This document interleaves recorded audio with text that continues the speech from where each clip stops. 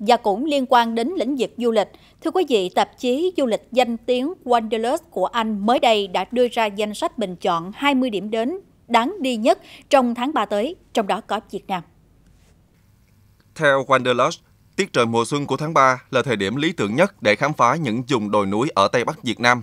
Nhiệt độ ổn định trong khi độ ẩm thấp, ít mưa sẽ là điều kiện thuận lợi để du khách thăm thú những bản làng xung quanh Sapa hoặc Mai Châu. Dùng núi Sapa vẫn luôn hấp dẫn với những người ưa khám phá. Những con đường mòn nổi tiếng dẫn đến các bản Giàn Tả hay Lô Chảy sẽ được bao phủ bởi những thửa ruộng bậc thang trải dài ngút ngàn. Về phía tây nam của Hà Nội, thung lũng Mai Châu được Wanderlust đánh giá là một trong những lựa chọn tuyệt vời cho những chuyến đi dã ngoại đường dài.